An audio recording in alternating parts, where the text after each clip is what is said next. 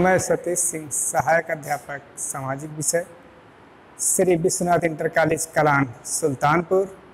आज हम बच्चों कक्षा छः इतिहास पाठ्य के बारे में बताएँगे। कैसे पता करें, कब क्या हुआ था, इतिहास जानने के स्रोत।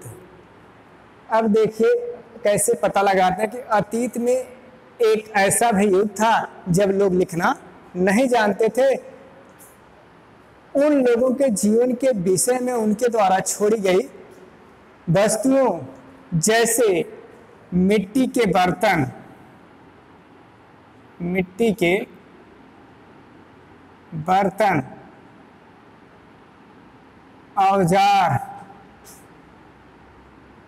खिलौने, हथियार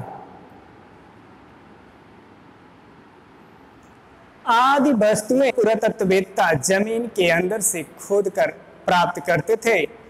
ये ऐतिहासिक जानकारी के लिए अत्यंत महत्वपूर्ण तथ्य थे।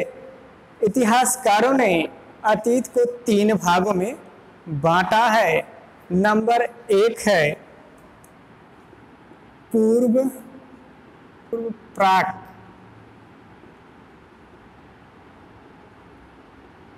ऐतिहासिक काल। वह काल जिसके बारे में कोई लिखित साक्ष्य या सामग्री नहीं उपलब्ध है, उसे पूर्व प्राक ऐतिहासिक काल कहा जाता है। दूसरा है आद ऐतिहासिक काल।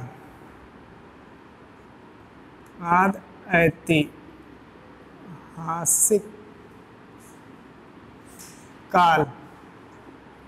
वह काल जिसके बारे में लिखित साक्ष्य प्राप्त है, किंतु उसे पढ़ा नहीं जा सकता है। उसे आद ऐतिहासिक काल कहा जाता है।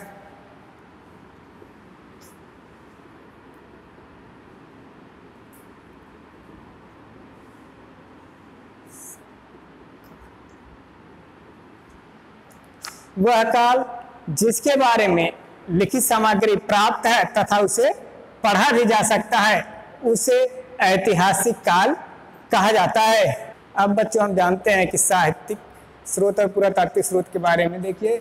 इतिहास जानने स्रोत जैसे पुरातात्विक स्रोत के अंतर्गत, जैसे कि पुरातात्विक स्रोत के अंतर्गत अभिलेख, मुद्रा, सिक्के, बर्तन, वस्त्र, औज़ार, प्राचीन भवनों, मंदिरों, इमारतों, स्तूपों के अवशेष को सम्मिलित किया जाता है। इनके अध्ययन से प्राचीन मानव के रहन सहन के बारे में जानकारी प्राप्त होती है। जैसे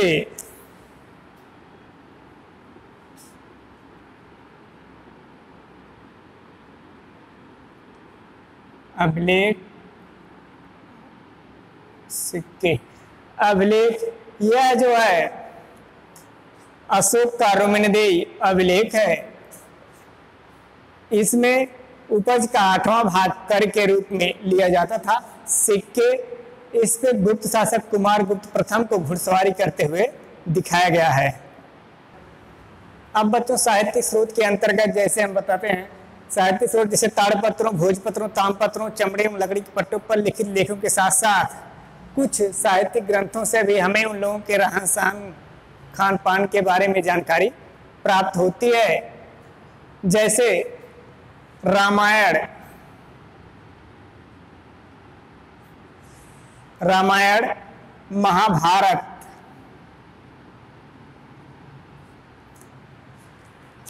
विदेशी यात्रियों के वृतांत। विदेशी यात्रियों से भी इतिहासकारों के बारे में जानकारी प्राप्त होती है।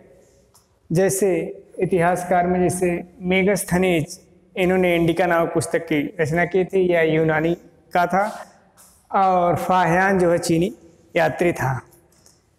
का वीडियो हमारा यहीं समाप्त होता है, और पुनः अगली वीडियो में हम मिलते हैं, तब तक के लिए धन्यवाद।